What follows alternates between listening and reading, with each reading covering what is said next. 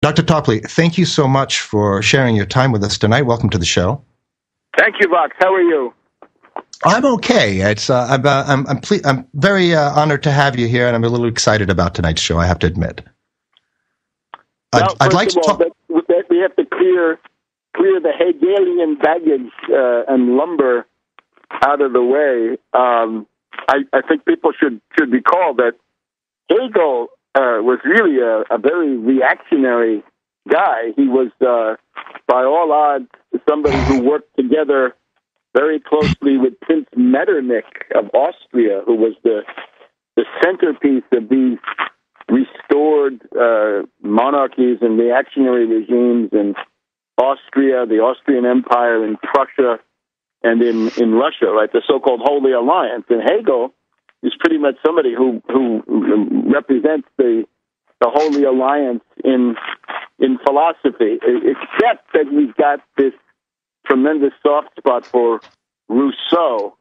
So um, I really don't think that very many people in the U.S. ruling class have ever uh, learned anything about Hegel. But uh, certainly, well, I don't think they have to. I mean, it, it's it's clear that now uh, it, whether or not they consciously are adhering to this Hegelian dialectic, actually Hegel never actually uttered the the the phrase uh, thesis, uh, antithesis, right. synthesis. He, he, actually, actually never actually never said that. We put that into his mouth actually, but uh, I think that they it's pretty clear to the ruling class that you can't just get what you want. You have to do. You have to go through some steps first. So you got to jump through some hoops, or make us jump through the hoops. What do you say?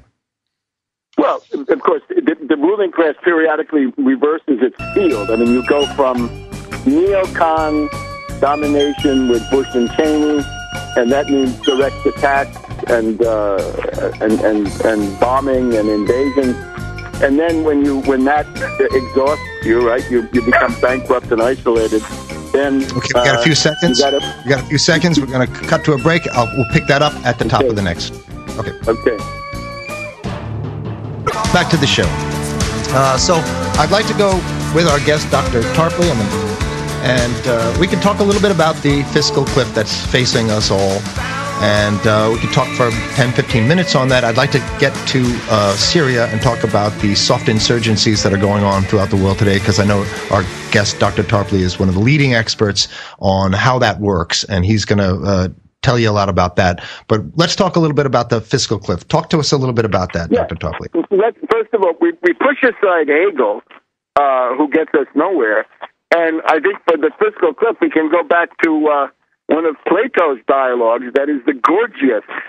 And that's uh, the Gorgias is the study of sophism, uh, the sophists, right, who were essentially the uh, the K Street of ancient uh, Athens was this uh, this group of the, the sophists. So in, in, in this dialogue, we have Socrates meeting Gorgias, and Gorgias is somebody who essentially dishes up rhetoric and slogans that that uh, that you know powerful circles can use.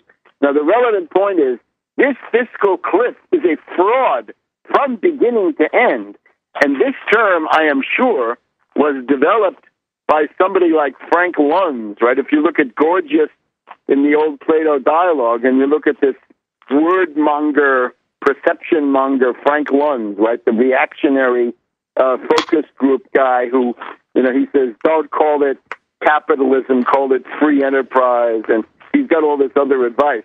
The term fiscal cliff is designed to stampede people. It's designed to frighten them. And it's uh, the, the person who introduced it. I don't think he developed it, but he introduced it. That is, of course, helicopter Ben Bernanke, the head of the Federal Reserve, who began talking about the fiscal cliff almost a year ago.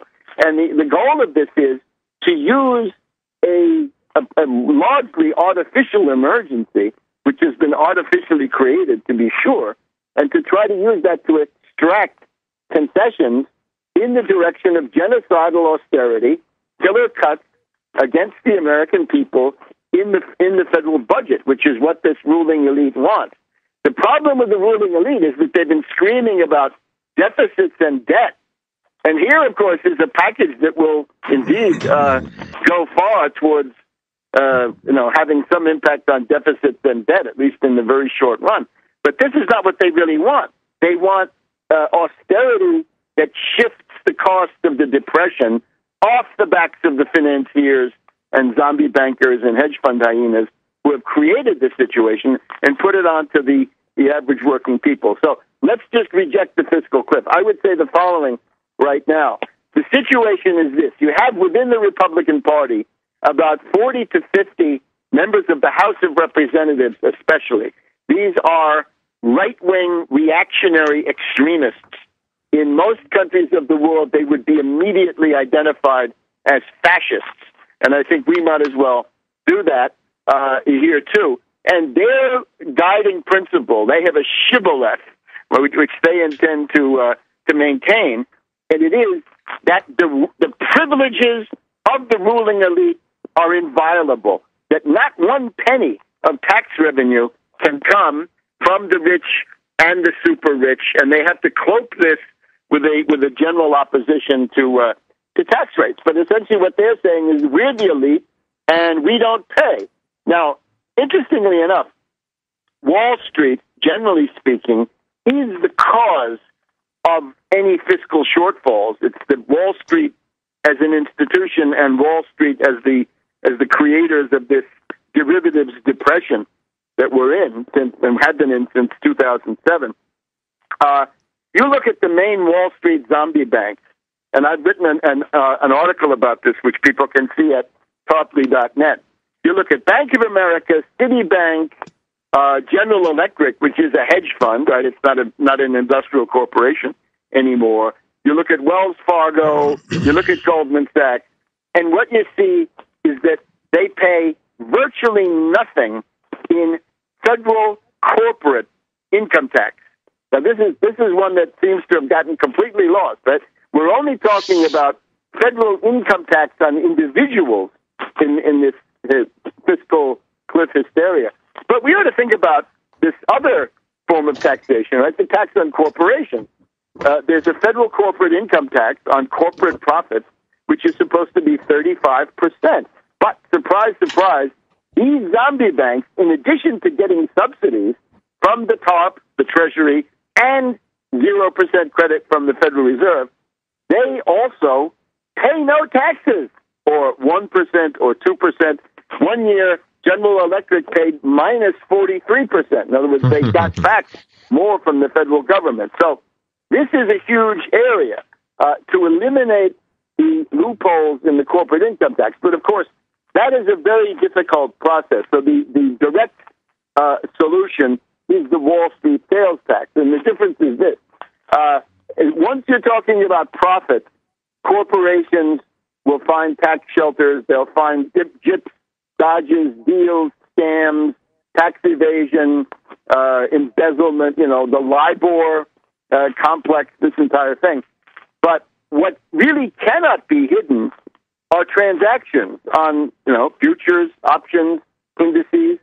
Those have to go over exchanges, right? Largely the ones in, in Chicago, the futures and options exchanges in Chicago. So all of that pays no tax. The average person pays, depending on your state, from 6% or 7% up to, in California, it's now reached 12%. In some states, like the benighted Virginia and other southern states, you have to pay that on groceries, which is a huge bite into the budget of the poor. Whereas Wall Street can do flash trading, program trading, a million trades per second.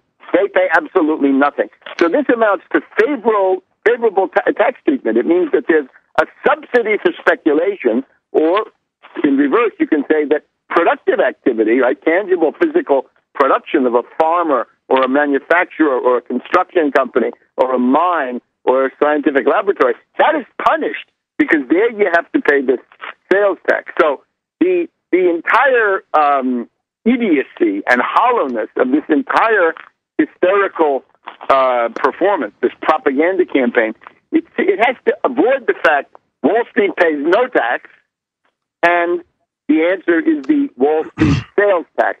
Uh, well, is there may, is there any political will out there to make this happen? I mean, is there any momentum in that direction?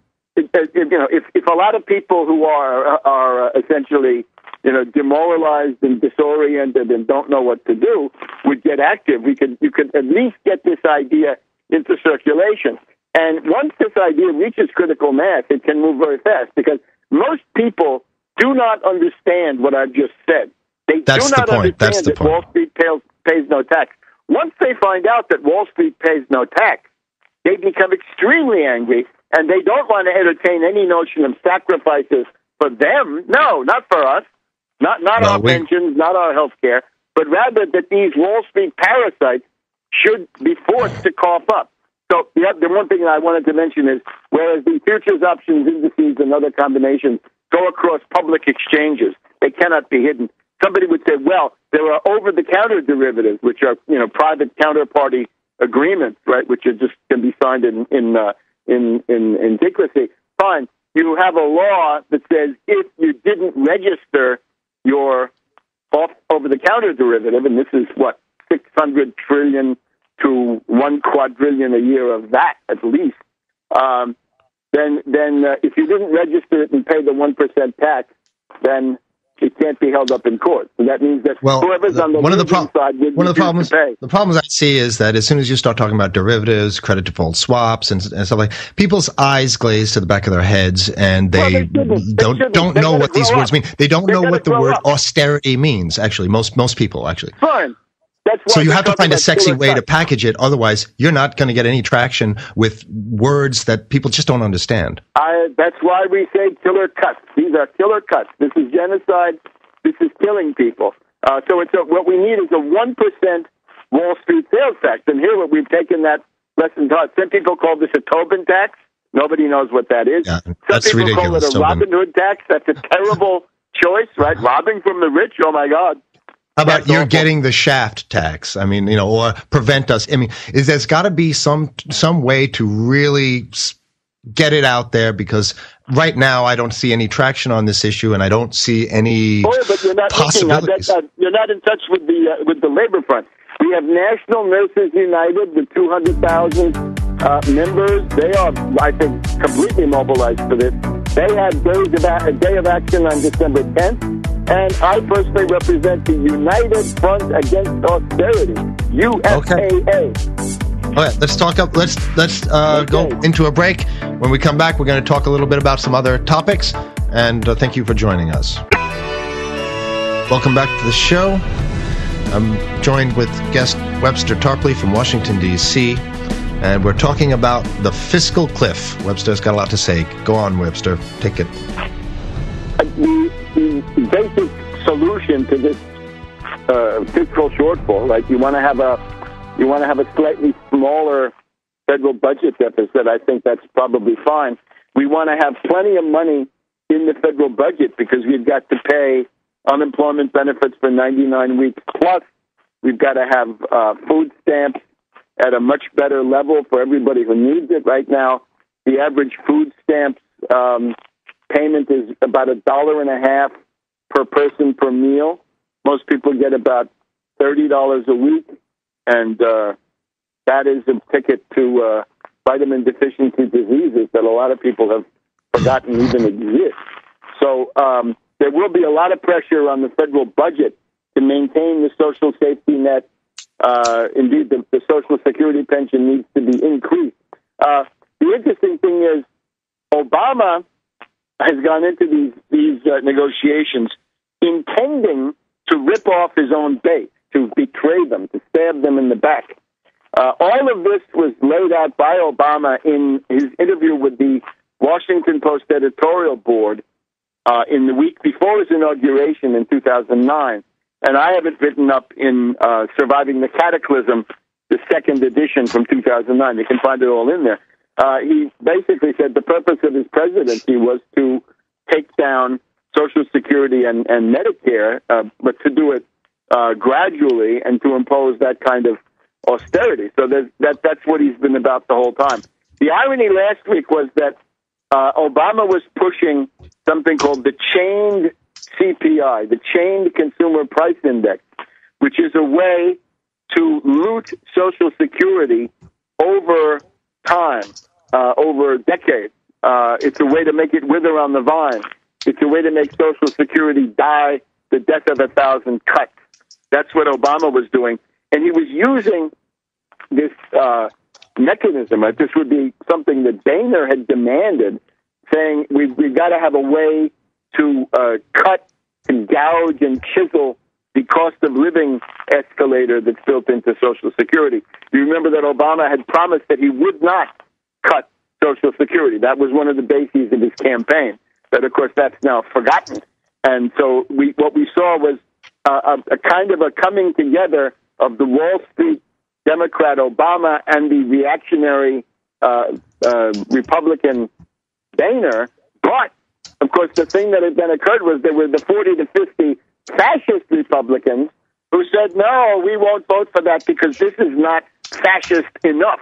This does not kill enough Americans. It doesn't have enough deadly uh, cuts and deadly austerity in it. So that's the irony that Obama has been prevented from selling out his base in a very dramatic way, precisely by these these ogres, right? This Tea Party uh, caucus there in the in the Republican uh, ranks. Now, the other thing that they pulled out, and we just want to mention this, uh, we now hear from Geithner that the the so-called debt ceiling is going to be reached uh, next Monday on New Year's Eve. So um, this is another method of blackmail and extortion used by these Republicans. Uh, truly, those Republicans, that Tea Party caucus, those people are right wing anarchists. They are people who hate government. They want to go back to the state of nature. They are wreckers and saboteurs inside any government that they're uh, elected to. They represent, you know, a benighted and backward part of this population. But the thing, uh, Obama had tried to get the uh, the Republicans to grant him the power to raise the debt ceiling, which of course they they refused to do. But here's the, the bottom line on this is the following. All of these reactionaries talk about the Constitution, the Constitution. Well, how about the, the Constitution, the 14th Amendment, and what it says in the 14th Amendment, and this is after the Civil War, it's designed to defend the integrity of the public debt of the United States. And it says the public debt of the United States will not be questioned. And that means you've got to pay it. Once you've spent the money, once you've incurred the cost, once you've issued the bonds, you have got to pay. And what, it, what that obviously means is that the concept of a debt ceiling is unconstitutional. It is a monstrosity from a 14th Amendment point of view. And it, it, one, of the, one of the things this shows us is why these Tea Party reactionaries hate the 14th Amendment uh, so much. There's a lot of stuff in there that they hate because it prevents states from doing horrendous things, and and it you know it gives uh, you know black people and others the right to to uh, to uh, to be citizens and so forth. But anyway, the, the the point is that Obama should come out and say, if we had a real president, somebody on the caliber of Roosevelt or Kennedy, they would come out and say, well, I invite you to negotiate in good faith, but I'm telling the world one thing. The United States will not default. I will order the Secretary of the Treasury to raise money. We can continue our normal operations unless and until you people decide to uh, decide to respect the Constitution. And that is something that is within Obama's reach at any point. You cannot have a gang of reactionary thugs who are blackmailing the United States government. And you want to know the level of these people. One of those Tea Party groups is called Freedom Works. And the, the top honcho, well, there were two. There was this, this guy, Dick Armey. Dick Armey, remember him? He was Newt Gingrich's yeah. right hand man in the Republican yeah. Revolution. And then you've got this other guy. You've seen him on television. He looks like the man. By, by, the way, Dick Armey is the man with the most ironic name in Washington. By the way. yeah, he, uh, he, he, this other guy uh, who's I'm forgetting his name. He's a non-entity, but he's he's a right-wing raving ideologue, and he's got these big sideburns. Right, he's got these whiskers. They call them mutton chops. Uh, this character.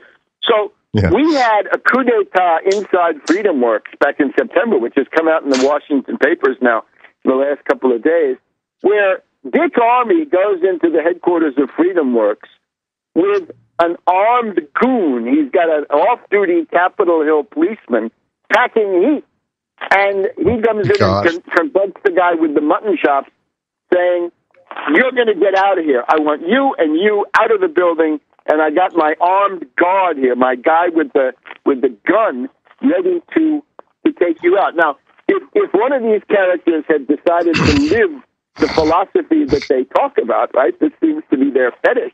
Then the other guy could have pulled out his revolver, and we could have had an immediate, uh, or you know, assault rifle. What do I say? So we could have had gunplay. We could have had a massacre inside the offices of, of Freedom Works. This is the level of the people who are blackmailing and extorting the United States government. This is out of the out of this world.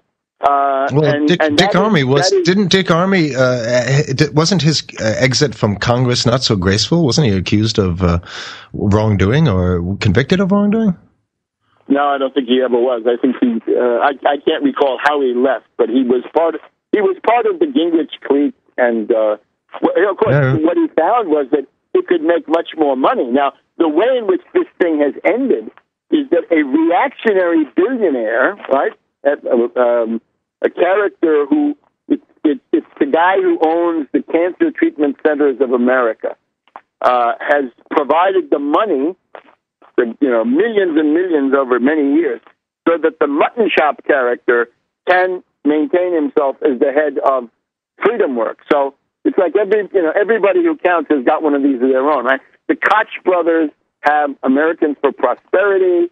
Now the the uh, Cancer Treatment Centers of America guy has got Freedom Works, and then there's Tea Party Express, and it's all a market of dupes because what it is is that the the grassroots people, the little people, the ideologues, the true believers, they are cannon fodder and the billionaires run these things and use these poor little jerks as as foot soldiers uh, in their own what turn out to be palace intrigues, right? Because they they want to get you know their candidate. Can you imagine that on the board of Freedom Works we had C. Boyden Gray? Remember him, Boy Gray?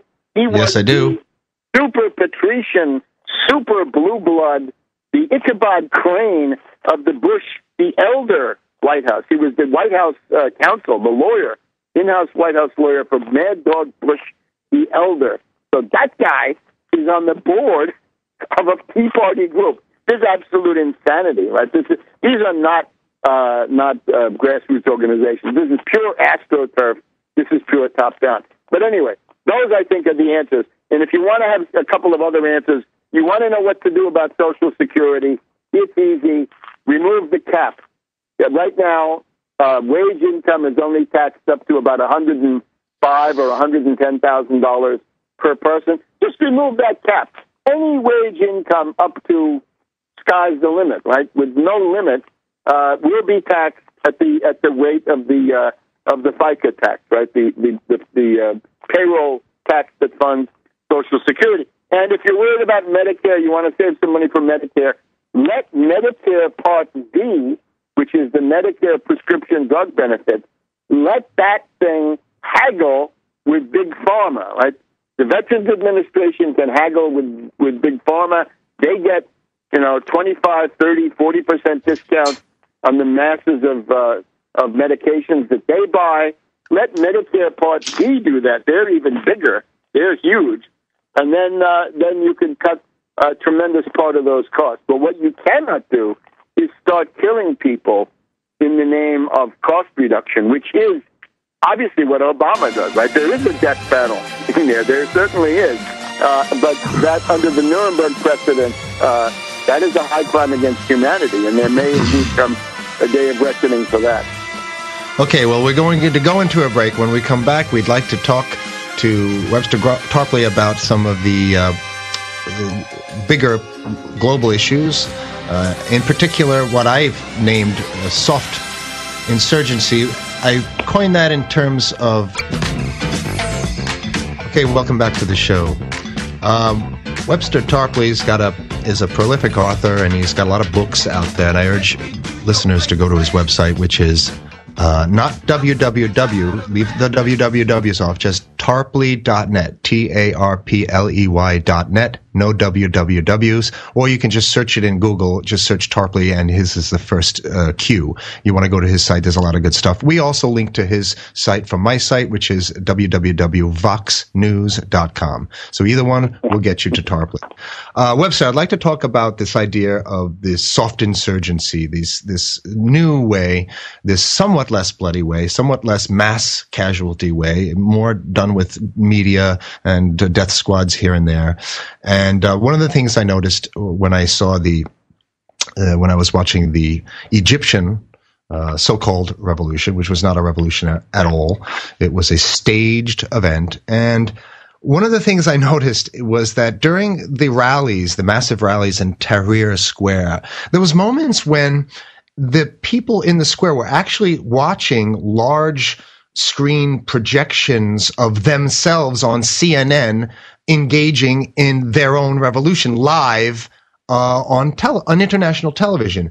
And then as soon as they, as soon as the ruling class here in America got rid of Hosni Mubarak, suddenly the screens, and you know, God knows who put those screens up there because they don't just pop up there by themselves. They, somebody had to have staged all that. As soon as they got rid of uh, Mubarak and replaced it with another brutal dictator more to their liking. Suddenly they cut to Charlie Sheen, who was having a breakdown. He had just kicked a hole in another hotel room and he got caught with some cocaine or something. And then the people in Tahrir Square were watching now Charlie Sheen on their screens and revolution was literally at that point over. And it was then I realized that these these new forms of revolution are actually driven by a, the centerpiece, which is a media event, uh, a, staged media event. Uh, and, and and it's this thing which is the inciting moment. It's the kickoff moment. It's the thing that gets the go code, and it's the thing that's it's it's staged around. What do you think about that?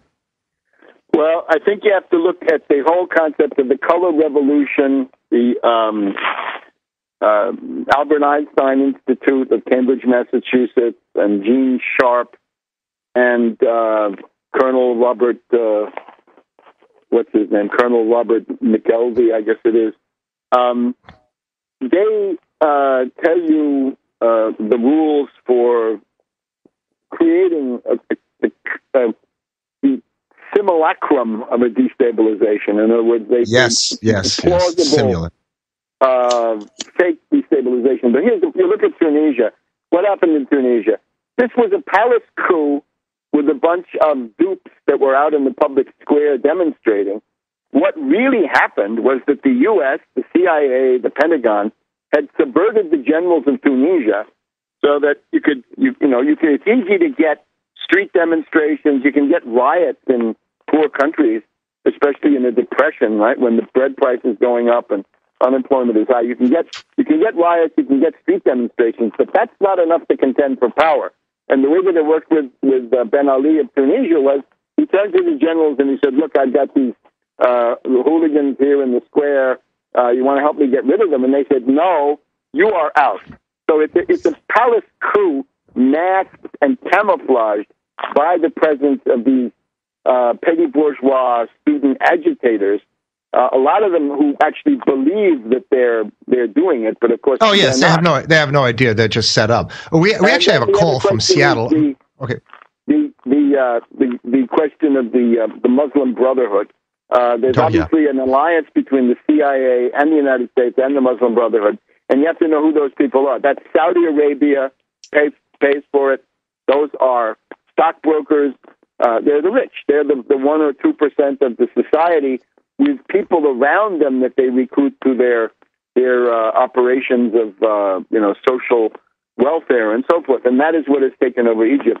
I just want well, to stress. Strangely, strangely enough, the uh, many of the objectives of the uh, of the uh, Muslim Brotherhood dovetail quite nicely with the objectives of, of our ruling class. That's one well, key. Let's, let's, let's, let's get a very very concrete, like Morsi. So here we have Morsi in Egypt, and what has he just done? Most people don't realize that the I think one of the root causes of the the um, the tumults in Egypt of the last six weeks, eight weeks, has been a sellout by Morsi to the International Monetary Fund. The International Monetary Fund said, "Oh, we'll give you a five billion dollar loan, but you've got to begin demolishing the price subsidies which are absolutely essential for these economies. They all go back to Nasser, and you had them in you had them in Libya, had them in Syria today, you had them in Egypt, but they're under attack. Uh, these are price subsidies for fuel, for basic foodstuffs, cooking oil, heating oil, things like this. You have them in, in Iran, although they're being they're being phased out in favor of uh, of cash payments. So you don't have world market prices for a lot of things that people need, and that's good because the world market is is is corrupt. So what uh, Morsi just approved was a deal where the price of gasoline doubled uh, during the month of November. Now, any place in the world that you double the price of gasoline, you're going to have problems. Then there was an increase in the sales tax demanded by the IMF on its way to becoming a value added tax. Now, this is bad policy. This is regressive taxation. This is a kind of a yeah. tax that cuts into the necessities of the poor and maybe the amenities of the middle class, but certainly does not touch the the uh, sybaritic luxury of the, of the of the ruling elite. So I want to point to people. The good news from Egypt is the emergence of an opposition. There's a there's a guy there named Hamdin uh, Salahi. Okay, and this this guy is um, Sabahi. Sorry, Sabahi says no to the dictatorship of the army. He fought Mubarak. He was he was in jail under Mubarak, and he says no to the dictatorship of the theocrats and these, uh, oligarchs of the Muslim Brotherhood, who are simply rich people who dress themselves in the cloak uh, of religion. And the big thing with with Hamdin Sabahi is to say no to the IMF. We will not accept IMF conditionalities. We don't want the loan. We want to have uh, economic protectionism. We want to have policies for uh, raising the lower incomes in the society. And the big the big polemic between Sabahi and uh, and Morsi is Morsi says we want the market to rule, and Sabahi says no, we do not want the market to rule because the market is the, the controlled by rich plutocrats. And if there are you know uh, people uh, uh, fugitives from the Ron Paul movement listening in, look at look at that right here. You have a clear distinction. The side of evil is the side that goes with uh, I want the market, and somebody who wants to defend the population and he has some concept of Egypt as a great nation, says, no, we don't want the market in that sense. We don't want the unbridled free market. So Sabahi, of course, represents the Nasser tradition. And I am, I'm very, very pleased to see that the thinking of, of Colonel Nasser of Egypt uh, from the 50s and 60s and 70s is not dead, but there is a third force. Right? And this is, this is the guy who came in third in the presidential election, and he has been uh, a key part of the opposition against this well, the Constitution, well, which is not a good Constitution. Well, one, one of one of the one of the points is that none of these none none of this was intended. It, the original intention is to throw these. The original intention is not to uh, have uh, free democratic uh, countries over there. That's not what they want. Obviously, if there was free countries over there, they would they would not support any of these things. So, uh, the point is to take these secular nations and throw them into maybe Islamic fundamentalism, which will require quite a lot of military maintenance over the over the decades to to and to dig it for a weaker country. The point is yeah. that if you if you have Egypt with ten percent or fifteen percent Copts Christians, yep. uh, and you try to impose this this constitution, it's a recipe for endless trouble. And of course, in yeah. Syria, it's much worse because there you have uh, it's about fifteen to twenty percent are uh, Christians. They're Maronite Christians, Melkite well, Christians, Greek Orthodox.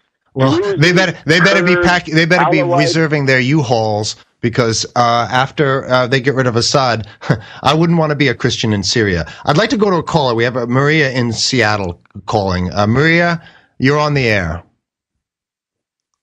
Hello, Maria. Are you out there?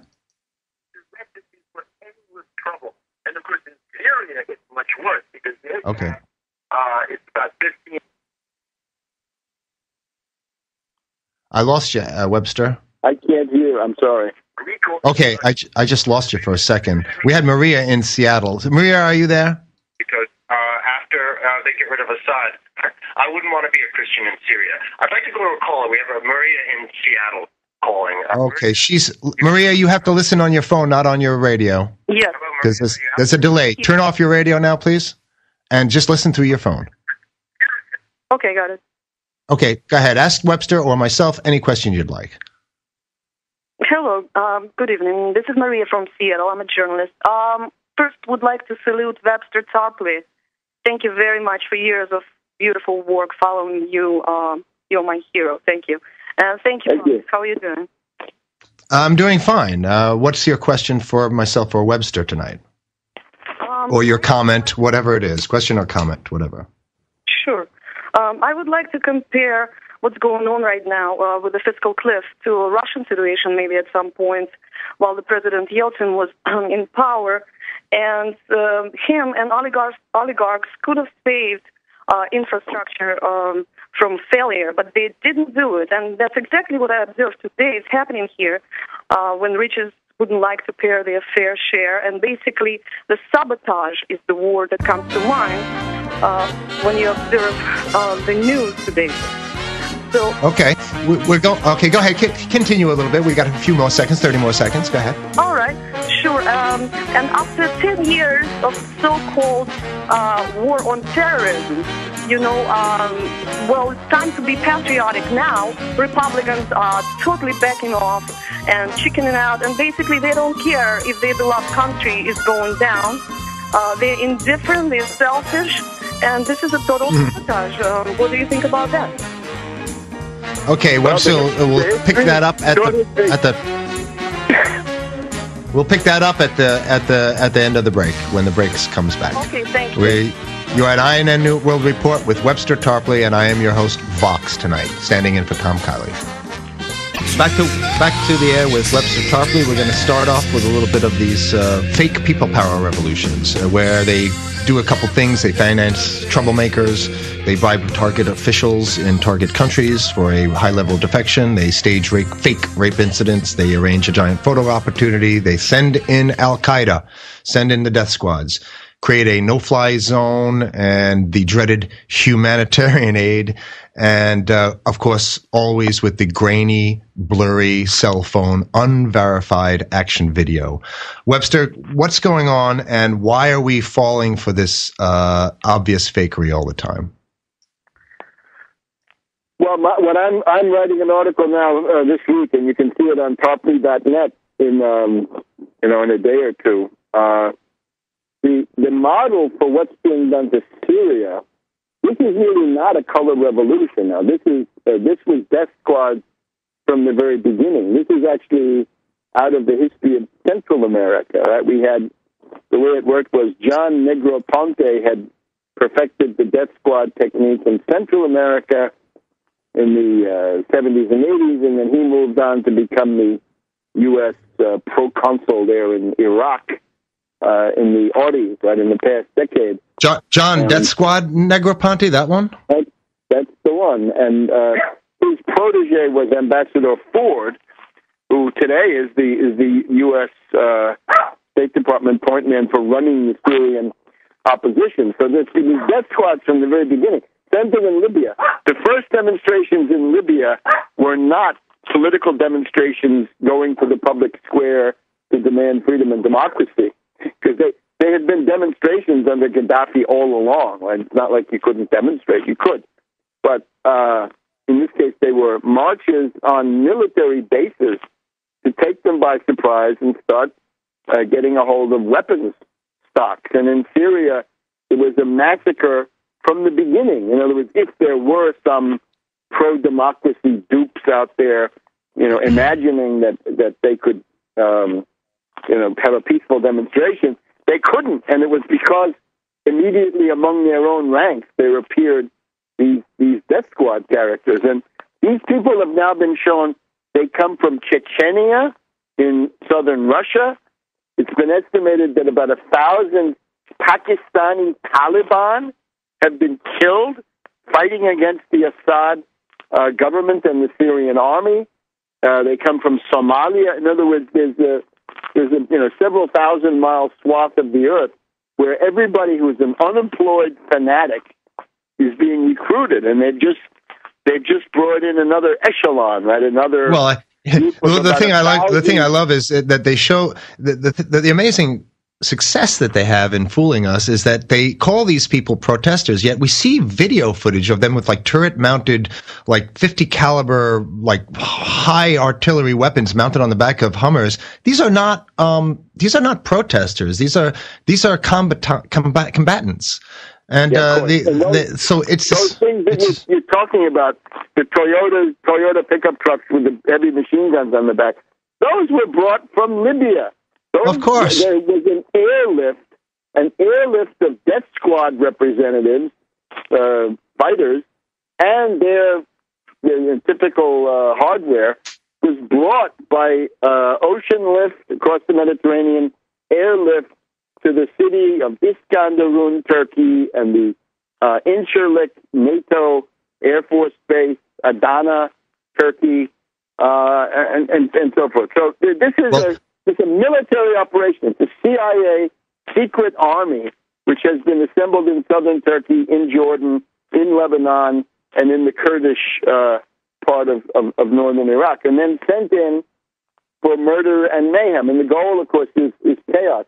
The model of this is what Hitler did to Czechoslovakia in uh, 1938. But I just want to, to, to not not forget completely Maria's um, question, right? About she was talking about uh, Yeltsin and the oligarchs, right, and the obvious comparisons of that regime to what we have here in the United States. Um, the, the, the beginning of wisdom in political analysis is that famous book seven of Plato's Republic, where we hear about tyranny, of course, we hear about uh, mob rule or autocracy, uh, which is also bad, and above all, we hear about uh, oligarchy, right? The constitution full of many evils, where the rich rule and the poor have absolutely no voice. And if you look at the array of uh, human societies over you know five or ten thousand years, what you will find is that most of them are oligarchies. Uh, even the ones that look like they're uh, tyrannies are, are, are often not. They're more oligarchical than tyrannical when you begin to, to delve inside. You could say, in the case of um, the Soviet Union, right, considered a, a tyrannical dictatorship. No, it's an autocracy. Uh, uh, I'm sorry, a, a, an oligarchy of the of the party. That you can see Lenin uh, in his um, left wing communism. Uh, uh, right after World War One, writes that the Bolshevik government is an oligarchy, and it is because it's got this this Politburo.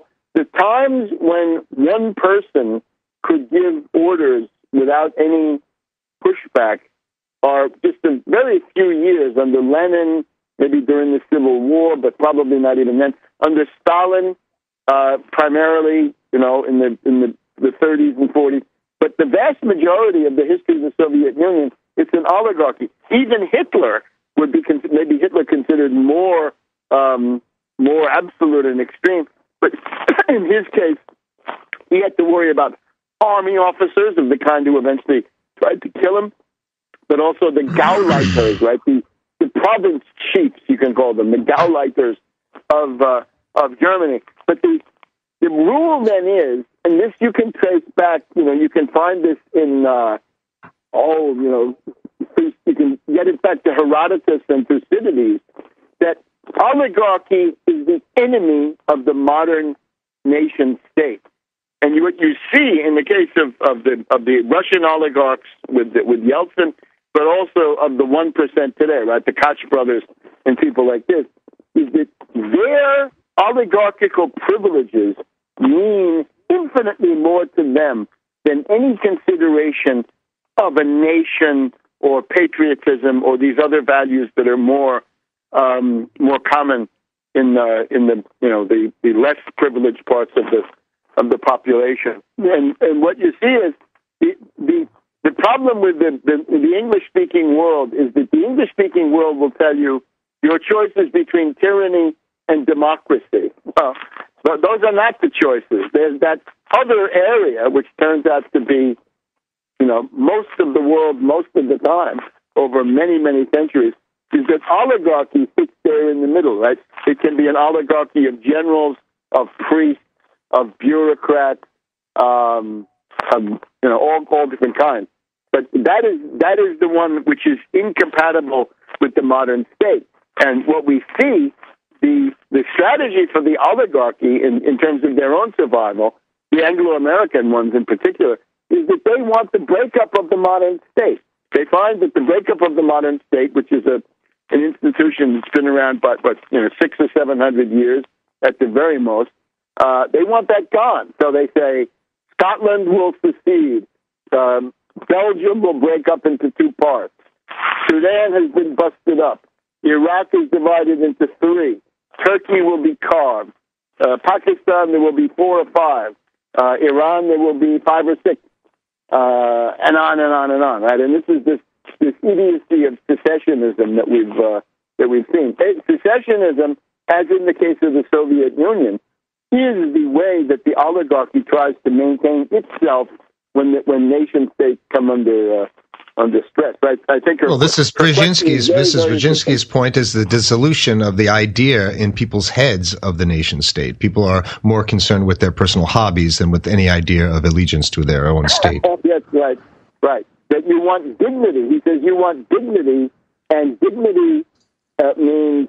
Uh, well, if, if you're a left-handed Presbyterian pinochle player, then you've got to have a polity, a, a state, a, a, nation, which is made up similarly of left-handed Presbyterian pinochle players. It's just it's absurd. Sure. And the other thing that what get, gets lost in that is it, it becomes a human zoo because where's where's the uh, general welfare? Where, where's the notion of economic progress without which nothing else works? Right. Uh, anyway, what we just had in the election, I think, is a, is a defeat for the uh, the war party, right? In other words, the out and out bombing and aggression party with uh, with Romney and Ryan and Petraeus uh, clearly in the background and helping them along, and that clique of generals, like General Ham, Admiral Stavridis, uh, Admiral Gaouette. Uh, the Gallup poll got involved because they were sort of greasing the skids for for vote fraud by telling people that that Romney was ahead. Um, the head of Lockheed, right, the biggest defense contractor in the world by most measures, was also involved, and and, and so forth. But this and and Karl Rove, right? Karl Rove with his ORCA system, which was supposed to deliver the majority uh, to Romney, but somehow that that uh, that failed. So We've well, this, this, this election proved that their their typical systems of vote rigging did not uh, succeed because the ruling class wanted Romney to win, and they didn't get what they wanted. So that means that there is some uh, weakness on their part in their normal ways, their electronic means. Yeah, maybe it might be more accurate to say that the ruling class was not unanimous. In other words, that the that the it is remember the Anglo-American system is based on the Venetian one, and it is based on the on the uh, the British Whigs, the English Whigs of the 1600s and 1700s, and uh, uh, in in their case, um, it's a polycentric system. It it, it does yes. not want a single dictatorial center. It's organized to try to prevent that, um, but that also means that it's uh, it's divided, right? And so you have different it, it, you know, it, it's a, it's largely a fake division, but you can distinguish a Soros wing from a Koch brothers, Mellon Scaife, Cancer Treatment Centers of America wing. So you don't think like that, that, they want a one world government? I don't know what you mean by that. What they want well, is, is there's this idea of the consolidation of power. The idea is that every single organization of humankind can and has been proven to be usurped. So that if they can get it all under one umbrella, then they just usurp no, that and they own the whole that, show. This, I think this is a mistake. If, if, if you because remember, this is a very bad slogan, right? Where did that one world government slogan come from? This is Cleon Skousen. This is a Mormon. This is a right wing reactionary Mormon, um, you know, who was um, attempting to muddy the waters as best he could back in the well, didn't David Rockefeller say it at the at the commencement of the Bilderberg yeah, meeting? Uh, let's not. It, it, this this is a it's a primitive form of analysis. Here's what we see: they want to smash the nation state. That's for sure, and they want to go to rump rump state warlords. Uh, you know, uh, micro states, mini states, and and what have you. Okay, And, we go into the uh, we go into a above break now. The IMF and NATO. I, I, just Okay, a well- few more minutes now. I got to run. Okay, we'll we'll be back with Webster Tarpley right after the break. All right, welcome back to the show. We're talking to Webster Tarpley. His website is www.tarpley.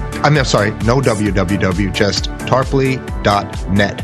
A lot of books, a lot of information, and a lot of television appearances that he appears on every week, and you're going to want to check that out. It's very, very good information. Go ahead, Webster. Finish your last thought. Anyway, I, I have to conclude now, but just the, the idea is this. I would put aside these slogans. New World Order is a bad slogan. One World Government, bad slogan. Here's what you have. The tendency is to smash every nation state. It means if you think you're a secessionist, then you're working for the for the side of evil. You're working for the powers of evil. Uh, Why? I want to. Sec- I want. I want New York to secede from the United States. What's wrong right. with that? Lots of luck. Uh, I don't have time. You know, I, I, I realize you want to try to No, what I'm saying. I mean, yeah, say, but I- the, the the urge to secede is a genuine urge. The French uh, wanted to do. The French Quebecois wanted to do that, and they had a good reason to, because culturally they, were. didn't, But that's the, more the point is advanced. they did not. They did not, and the vote was against it, and it would be against it again. And secessionism in the United States is extremely artificial. Uh, it takes a network of Southern jurisdictions, Scottish Rite Freemasons, and British agents and other uh, vermin in my book to to get uh, secessionism in 1860 and 1861. It is not popular. It has to be rammed through. Uh, it leads to countervailing movements like West Virginia is one example. The the upcountry of many states, Tennessee, so forth, they don't want any part of this.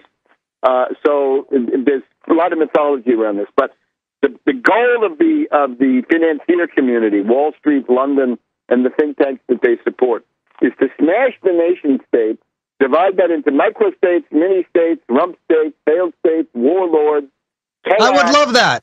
That sounds Yeah. like perfect Okay. situation. The- No? If, if you want to live to be 35 in cannibalism and infanticide. And then above that, above that, you have the International Monetary Fund and NATO. And if you want to call that a government, I suppose that's the idea.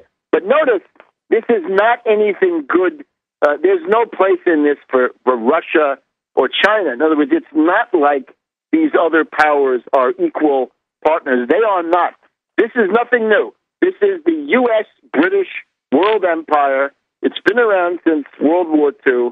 It is attempting to, uh, re, you know, to revamp itself, to morph in order to survive under conditions of economic depression and imperialist breakdown crisis, which is what we're we're in right now.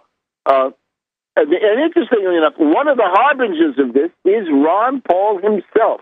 Famous speech. You should look at it. He's got it on his congressional website. Take now the last days of his time in Congress. If you want to see what Ron Paul was all about, go to this speech about. Um, it's about March or April of 2001. It's about six months before the 9/11 terrorist uh, attacks, and he says, "We have nothing to fear from globalism, universal free trade, and a commodity currency, by which he means gold. So he wants globalization, globalism, he says this, globalism, free trade, universal, no tariffs, no no regulations, no nothing, and a gold currency. So the gold currency is independent of any government, and the free trade diminishes the powers of government. Now that's that's his way of getting to uh, what you'd call a universal empire or universal monarchy. Uh, but of course, this world that he's describing could not support six to seven billion people. This would be a world for maybe one or two billion. So that would be a genocide of four to five billion. And and if you look at his economic program, that's pretty much what he uh, what he wants in his economic program. Uh, just one last example. Uh, if you look at Ron Paul's uh, um, program, Restore America, the thing that he ran on, where he finally got specific in, in, in uh, contrast to these throwaway lines. He took the the um, this among other things the food stamp program. He wanted to cut that by sixty two to sixty three percent. So instead of having one dollar and a half per person per meal, you would go to about fifty cents per person per meal, and that's a recipe for death on a large scale. So uh, that is the that is the motivating force of of this stuff. So I am proud to take my stand on the modern nation state. Absolutely. Uh, obviously, you know, reform agenda, modernization, and so forth. But you look at Syria, the transition to uh, microstates and mini states. That's what you see in Syria. There is nothing worse. No outcome is worse than civil war. Civil war is but that's that's not a real civil war, though. That's that's that's a media fu- fueled, uh, intelligence agency fueled uh, conflict. It it's not a because a, there are there are enough indigenous forces. I mean, they've been they've been uh, dragged in. I I, I already yes, went Web, through Webster. The, if if there was a superpower, to, I just went yes, through that. But if there was a superpower to the north of America that suddenly was funneling uh, surface-to-air missiles to thousands of Americans, you'd have Americans firing them upon their government too. So this idea that just because there are some people in these nations that are getting weapons and firing them against their government, people would do that here. I, I would say almost is as many, uh, if not more. Well, I I, I can't uh, speculate on that, but let me just remind people you can find me at tarpley.net and uh, Twitter feed is Webster G. Tarpley. We will be having protest actions as the situation evolves. Uh, if if uh, if there, there's going to be an attempt made between Sunday night and Monday to have a last sellout uh, stab in the back grand bargain package. I don't think this is likely to succeed, but it might. And that would be Obama's last chance to impose killer cuts on Social Security specifically. That's what he would be giving Boehner. He'd say to Boehner, uh, I want you to agree with me now that we're going to have some small tax increase on the super rich, but in exchange for that, we're going to gouge the Social Security pension until it withers on the vine. Uh, if that happens, we've got to get out in the streets and show uh, the, the public and the world, indeed, that somebody's fighting. So watch the Webster G. Tarpley uh, Twitter feed, and I urge you follow it, subscribe to it. It's easy, right? You just follow it, and then you get this stuff automatically, and you can keep up with the United Front Against Austerity. Okay. Okay. Thank you very much for, for your time. Thank you very much, Webster. It's a it's okay. a privilege to have you on your show. Thank you so okay. much. See you soon. Good luck. Bye bye. Okay. Bye bye.